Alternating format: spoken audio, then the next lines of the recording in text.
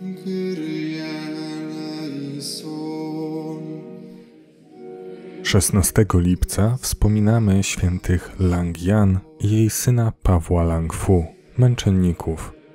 Langian urodziła się w 1871 roku w prowincji Hebei na wschodzie Chin. Wyszła za mąż za katolika. Sama w tym czasie dopiero przygotowywała się do przyjęcia Chrztu Świętego. Jako katechumenka żarliwie się modliła, była bardzo życzliwa dla innych, wyrozumiała i serdeczna. 16 lipca 1900 roku rebelianci z powstania bokserów wtargnęli do wsi. Pojmano ją. Langian przyznała się, że jest chrześcijanką. Przywiązano ją do drzewa rosnącego przed jej domem. Sąsiedzi próbowali ją uwolnić, ale bezskutecznie. W tym czasie przybiegł jej jedyny siedmioletni syn Paweł, który widząc matkę rozpłakał się.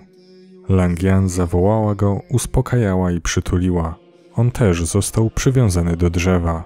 Matka pocieszała go i zapewniała o przyszłym życiu w niebie. Powstańcy podpalili dom, a ich przebito włóczniami. Ciała natomiast wrzucono do ognia. Langian miała 29 lat.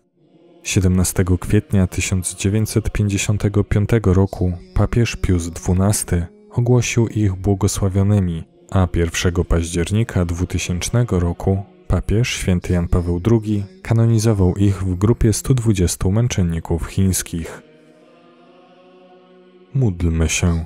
Wszechmogący Boże, z radością obchodzimy Dzień Męczeństwa świętych Langian i Pawła.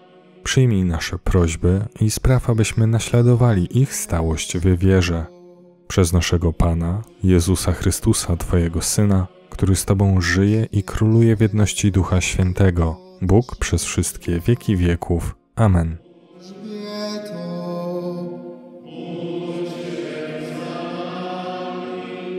Wszyscy święci, święte Boże.